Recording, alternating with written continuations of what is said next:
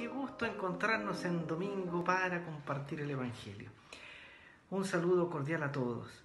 Es domingo especial porque el Papa lo proclamó domingo de la palabra de Dios.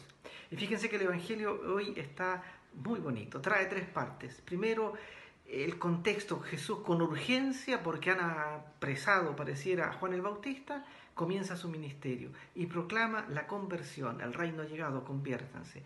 Y después llama a los discípulos a orillas del lago, eh, las llamadas de Galilea podríamos llamarlo. Galilea es muy importante, se va a cerrar el Evangelio también con eh, el nombre de Galilea. ¿Qué quiere el Señor en este domingo? Relean el Evangelio, que lo celebremos en su palabra. Fíjense que las palabras clave son conversión. La palabra clave, la segunda palabra clave es el llamado.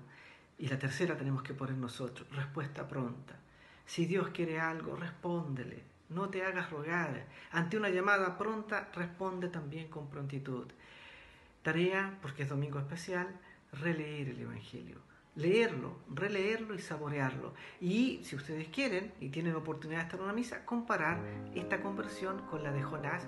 Y si no, buscarlo en la Biblia y leer también el libro de Jonás que están conectados para las lecturas de la misa. Muy buen domingo a todos.